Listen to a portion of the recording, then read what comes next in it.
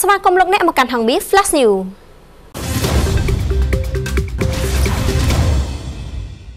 ក្រុមចៅចាប់ផ្ដើមចេញរដ្ឋបាលឆក់នៅតាមវត្តអារាមក្នុងទីប្រជុំជននិងតាមជនបទក្រុមចៅដែលរឆានមិនស្គាល់បុណ្យបាបបានចេញរដ្ឋបាលឆក់កបូមនិងគ្រឿងអលង្ការនៅតាមវត្តវាខណៈដែលប្រជាពុទ្ធបរិស័ទនាំគ្នាធ្វើដំណើរទៅធ្វើបន្ទានសន្សំកុសល នៅក្នុងរដូវបិណ្ឌភ្ជុំនេះ បើតាមកាមេរ៉ាសវត្ថភាពបានបង្ហាញមុខបពួកជនខិលខូចជាស្ត្រីពីរនាក់បានខົບខិតគ្នាលួចកាបូបលុយរបស់នារីរងគ្រោះនៅពេលនាងចូលដូចធូបនៅមុខព្រះពុទ្ធដីមានៅក្នុងវត្តសន្សំកុសលរាជធានីភ្នំពេញ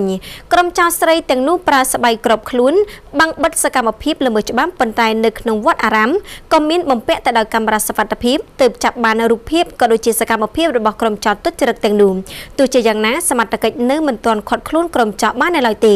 ដែលឡែកនៅឯស្រុកអង្គរជ័យខេត្តកំពតវិញក្រុមចៅក៏បានចេញឆក់ខ្សែកស្ត្រីវ័យចំណាំម្នាក់បណ្ដាលឲ្យដួលបុកក្បាលឈាមស្រោចពេញខ្លួនការឆក់ខ្សែកនេះបានកើតឡើងកាលពីព្រឹកថ្ងៃទី6ខែតុលាឆ្នាំ2023នៅមុខវត្តផ្សារស្ដុកខណៈជនរងគ្រោះកំពុងធ្វើដំណើរថ្មើរជើងតែម្នាក់ឯង thank you ធនធានហត្ថថាបញ្ជាក់ថាអតីតបុគ្គលិកខ្លួនឆបង់ប្រាក់ពីប្រជាពលរដ្ឋជាង20ម៉ឺនដុល្លារអាមេរិកនៅស្រុកស្អាំងគឺជារឿងបុគ្គល ធនធានហត្ថថាបានបំភ្លឺជុំវិញទៅនឹងរឿងរ៉ាវឆោបបោករបស់អតីតបុគ្គលិកមានឈ្មោះថារុនដារ៉ាគឺជារឿងបុគ្គលសុតសានមិនពាក់ព័ន្ធទៅនឹងធនធាននោះទេ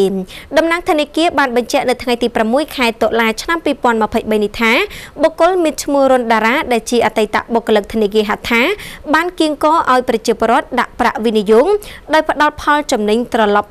10%នៃទឹកប្រាក់សរុបដែលជនរងគ្រោះបានដាក់ នៅក្នុងករណីនេះធនាគារបានបញ្ជាក់ថាបុគ្គលឈ្មោះរុនដារ៉ាជាយូរមកហើយដោយសារតែបុគ្គលរូបនេះបានប្រព្រឹត្តកំហុសដ៏ធ្ងន់ធ្ងរផ្ទុយពីនីតិវិធី និងគោលការណ៍របស់ធនាគារមុននឹងក្រោយពីការបញ្ឈប់អតីតបុគ្គលិករូបនេះក្រុមការងារធនាគារក៏បានចោះជួបជាមួយនឹងអតិថិជន ដែលធ្លាប់ធ្វើការជាមួយរូបគេដើម្បីធ្វើការបញ្ជាក់និងស្វែងរកអតិថិជនណាដែលពាក់ព័ន្ធទៅនឹងបុគ្គលរូបនេះជាលទ្ធផលគឺអតិថិជនទាំងអស់បានអាងថា ពួកគាត់មិនមានពាក់ព័ន្ធទៅនឹងបុគ្គលនោះឡើយដូច្នេះករណីនេះបញ្ជាក់ឲ្យឃើញថាមិនពាក់ព័ន្ធជាមួយនឹងធនាគារហត្ថថានោះទេគួរបញ្ជាក់ថាប្រជាពលរដ្ឋជាង10គ្រួសាររស់នៅក្នុងភូមិគុនជ្រែកឃុំព្រែកអំបិលស្រុកស្អាងជាង10គ្រួសារបានរងគ្រោះអំពីការឆបោករបស់អតីតបុគ្គលិកធនាគារអស់ប្រាក់ប្រមាណ20ម៉ឺនដុល្លារអាមេរិកដែលសារតែនាំគ្នាជឿជាក់ ហើយក៏បានដាក់ប្រាក់វិនិយោគចំណេញការ10%ទីបំផុតការប្រាក់ក៏មិនបានទទួលប្លង់ដីប្លង់ផ្ទះក៏នៅជាប់នឹងធនាគារហើយត្រូវរងការបង្ខំឲ្យសងប្រាក់ទៅធនាគារបន្ថែមទៀត ផ្លូវខេត្តលេខ266នៅក្នុងស្រុកជីក្រែងត្រូវផ្អាកការធ្វើចរាចរណ៍រថយន្តធុនធ្ងន់និងដំណើរការឡើងវិញផ្លូវ64នៅក្នុងថ្ងៃតែមួយមន្ទីរសាធារណការនិងដឹកជញ្ជូនខេត្តសៀមរាបនៅថ្ងៃសុក្រនេះបានសម្រេចផ្អាកជាបណ្ដោះអាសន្នការធ្វើចរាចរណ៍រថយន្តដឹកទំនិញធុនធ្ងន់គ្រប់ប្រភេទនៅលើកំណត់ផ្លូវខេត្តលេខ266នៅក្នុងភូមិសាស្ត្រស្រុកជីក្រែងរហូតដល់មានការជួលដំណឹងសារជាថ្មីប៉ុន្តែផ្លូវលេខ64នៅក្នុងខេត្តសៀមរាបបើកឲ្យចរាចរណ៍ឡើងវិញលោកគីវីរិនប្រធានមន្ទីរសាធារណការនិងដឹកជញ្ជូនខេត្តសៀមរាបបានបញ្ជាក់ថាដោយសារតែចំនួនទឹកភ្លៀងកំពុងតែឡើងលេខផ្លូវលេខ266ទើបមន្ទីរមិនអនុញ្ញាតឲ្យរថយន្តដឹកទំនិញធុនធ្ងន់គ្រប់ប្រភេទធ្វើចរាចរណ៍នៅលើកំណត់ផ្លូវនេះដើម្បីការពារគ្រោះថ្នាក់ដែលអាចនឹងកើតមានជាយថាហេតុនិងខ្លាចខូចផ្លូវចំណែកនៅផ្លូវលេខ64ស្ថិតនៅក្នុងភូមិសាស្ត្រខេត្តសៀមរាបវិញមន្ទីរក៏បានអនុញ្ញាតឲ្យរថយន្តដឹកទំនិញធុនធ្ងន់ធ្វើការចរាចរណ៍ដោយធម្មតាវិញនៅថ្ងៃនេះព្រោះទឹកបានស្រកអស់ហើយប៉ុន្តែលោកគីវីរិនក៏បានសំណូមពរឲ្យទទូចឲ្យម្ចាស់រថយន្តទាំងអស់កុំឲ្យដឹកលើសទម្ងន់ព្រោះថាស្រទាប់ដីឬក៏គ្រឹះនៅមានសភាពទន្ទ្រាយដោយសារតែចំនួនទឹកភ្លៀងអាចនឹងខូចខាត thank you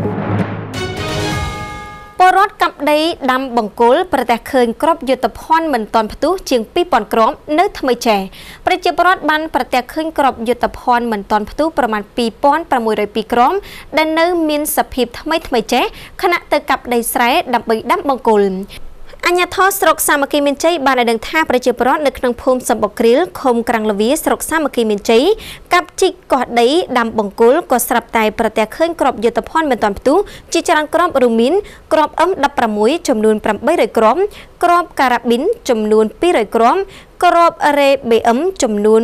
1600គ្រាប់និងគ្រាប់ M79 ចំនួន2គ្រាប់សរុបចំនួន2602គ្រាប់លោកវរៈស្នេហ៍ឯកសេងចិនណាអធិការនគរបាលស្រុកសាមគ្គីមានជ័យក៏បានឲ្យដឹងនៅរសៀលថ្ងៃទី5ខែតុលាឆ្នាំ2023នេះថាក្របយុទ្ធភ័ណ្ឌមិនទាន់ផ្ទុះទាំងអស់នេះត្រូវបានកប់បន្សល់ទុកនៅក្នុងដីពីសម័យសង្គ្រាមមកម្ល៉េះក្របទាំងអស់នោះត្រូវបានប្រមូលយកមករក្សាទុកនៅអធិការដ្ឋាននគរបាលស្រុងដើម្បីរងចាំប្រកល់ទៅឲ្យស៊ីម៉ាក់យកទៅពិនិត្យតាមបច្ចេកទេសអញ្ញាធរដែនដីក៏បានអំពាវនាវទៅដល់បងប្អូនប្រជាពលរដ្ឋក៏ដូចជានៅពេលដែលប្រទះឃើញក្របយុទ្ធភ័ណ្ឌមិនតាន់ផ្ទុំសូមកំប៉ះពល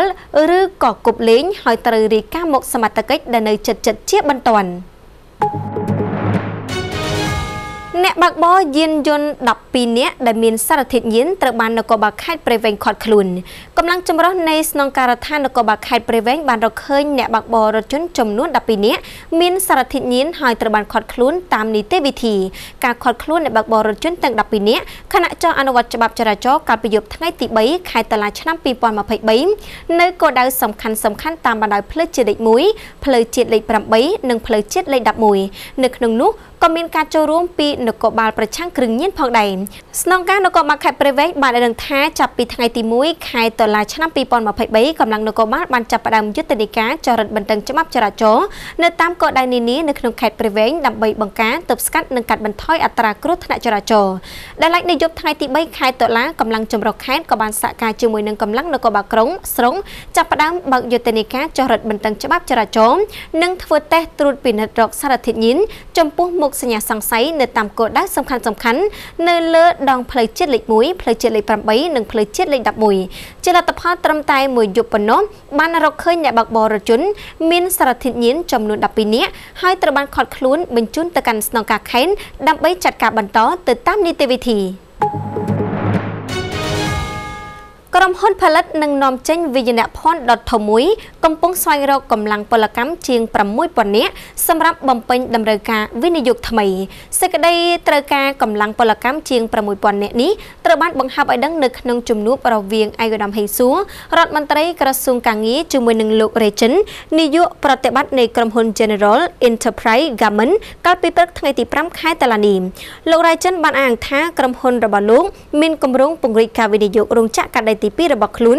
នៅក្នុងខេត្តកំពង់ស្ពឺដែលនឹងដំណើរការនាពេលឆាប់ៗខាងមុខនេះគណៈរោងចក្រថ្មីសាងសង់រួចរាល់ហើយហើយពេលនេះកំពុងតែត្រូវការកម្លាំងពលកម្មជាង6000នាក់ចំពោះករណីនេះឯកឧត្តមហេងសួរក៏បានប្រកាសគាំទ្រយ៉ាងពេញទំហឹងដើម្បីស្វែងរកជំនួយក៏ដូចជាកម្លាំងពលកម្មនិងបានប្រាប់ឲ្យក្រុមហ៊ុនសហការជាមួយនឹងទីភ្នាក់ងារជាតិមុខរបរនិងការងារនៃក្រសួងការងារដើម្បីពិនិត្យមើលទៅលើការស្វែងរកបុគ្គលិកនេះគួរបញ្ជាក់ថាក្រុមហ៊ុននេះគឺជាក្រុមហ៊ុនផលិតនិងនាំចេញវិញ្ញាណភ័ណ្ឌដ៏ធំមួយបោះទុនវិនិយោគនៅកម្ពុជាដែលរោងចក្រទី1ស្ថិតនៅក្នុងខេត្តកណ្ដាលហើយពេលនេះកំពុងតែពង្រីកនៅខេត្តកំពង់ស្ពឺដែលនេះជាការវិនិយោគរោងចក្រកាត់ដេរទី2សូមអរគុណលោកអ្នកចំពោះការគាំទ្រហងមាស Flash News